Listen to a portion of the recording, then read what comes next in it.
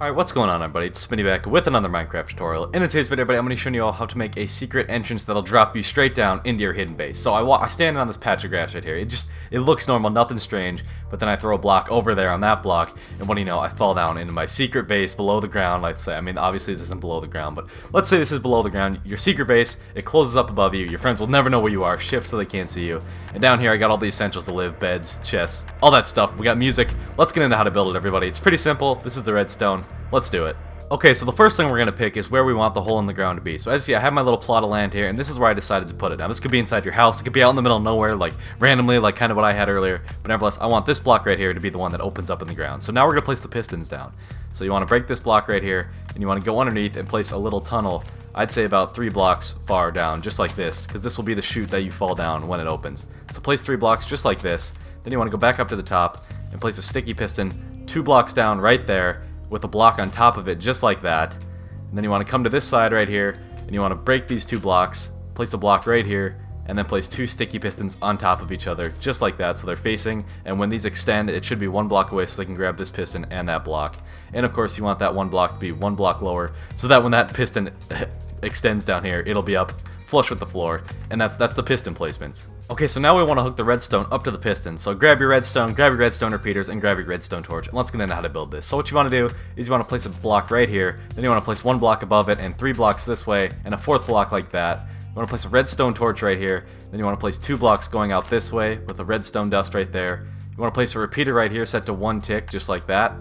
Then you want to place redstone right here, right there, right there, and right there. And then that will be all the redstone hooked up to those sticky pistons, and then they will extend, and you will see that the, that the floor is now here. It's here. I'm going to replace this with a stone block just so it sticks out more, but now you'll see everything's set in place. Let's keep going. Twitch TV Sippy's also looking for a group post. Okay, and once you have all this redstone hooked up, you'll basically see that that's pretty much it for the sticky pistons. As you can see, if we place a button right here and we push it, the opening will happen, but we don't want the button placement right there. Let's get into how let's get into how to make it so when we throw a block over here, it'll pick it up and then open up. Let's get into how to do that. Okay, so the first thing you want to do is identify the block that you want to throw the item on. So I'm going to pick this block right here that I want to throw the item on. And what you want to do is you want to come down here and place a chest on this third block all the way down here, about three blocks below that top block.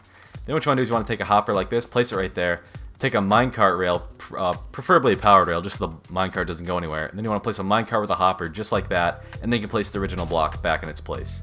Okay, so once you have this simple setup done right here, then you want to grab a redstone comparator. That's the one with three three little deals on it, not the redstone repeater, the redstone comparator. And what you want to do is you want to take a comparator output from this hopper. So we're going to place one block right here, we're going to grab the comparator, and we're going to place it like this. Then we're going to come over here, hit this grass block, and go like that. Then once it's going into that grass block, you want to come over here and take a repeater output. This is the one with two. Take a repeater output set to four ticks, just like that. Have that run into a block like that. Then come over here. You want to place a block up here, just like that one right there. You want to place a block on the bottom and another block on the bottom, and then you want to place two pieces of redstone just like that. So here's your setup right here. Once again, comparator coming out of the hopper, not the chest, the hopper. Then you want to have it going into a repeater set to full ticks, four ticks right here, into a block, and then two pieces of redstone going into that redstone torch. It's kind of a little kind of to follow, not really. But anyways, once you're caught up to me and you have all this done, I'll go by a quick one one time here, a little panorama, just in case you guys are missing something, you can look at it one more time. But if you come back up to the top and you throw an item on that block that you picked, you'll see that the floor will actually come out from under you, and you will fall down into your house, and of course it'll close up above you. So that's basically how you build it. That's the secret hole in the ground, secret entrance. It's pretty sweet, and I mean, yeah, if you come back up here, it's shut, and this could be a grass block like that and we could use it again over and over again. It'll continue to work, and it's awesome for, I guess, secret entrances. And I guess we can break these blocks if we want, if you want to. They're not really necessary. That one is right there though, so don't break that. Just don't break any redstone and that will work just like that. And I guess if you guys are wondering how this works right now, I'll do a quick explanation. So basically right now, this redstone torch is powering the two pistons that we placed right here and the one piston down there, which pushes the block up to here.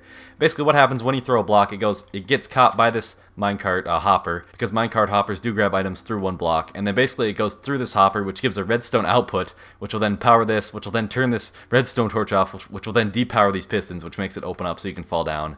And then once once the item passes through this hopper, it goes down into this chest, which turns off the signal, and then these these uh, pistons up here will push everything back out, back to the original state. And one thing you want to look out for is you don't want to fill this chest up with too many items, because if it gets full, then the thing will stay on, the redstone will stay on, which you don't want to happen, but that'll take a while. And of course, I guess if you want more items to fit in there for some reason, you can always just throw a double chest like that, and then you can you can do this. Just Once again, whatever you throw in this hopper in the ground over here will get collected into this into this chest right here. So just make sure you don't fill this chest up. It takes a lot to do that. But nevertheless, that's that. Alright, and a couple other ways to power it to turn the item on. You don't always have to throw an item right here. I'll show you how to make it so you just have to pu push a button if you want it to open. So if you want to do that, you can break all this stuff. This is unnecessary if you don't want to waste an item every time to open up the door.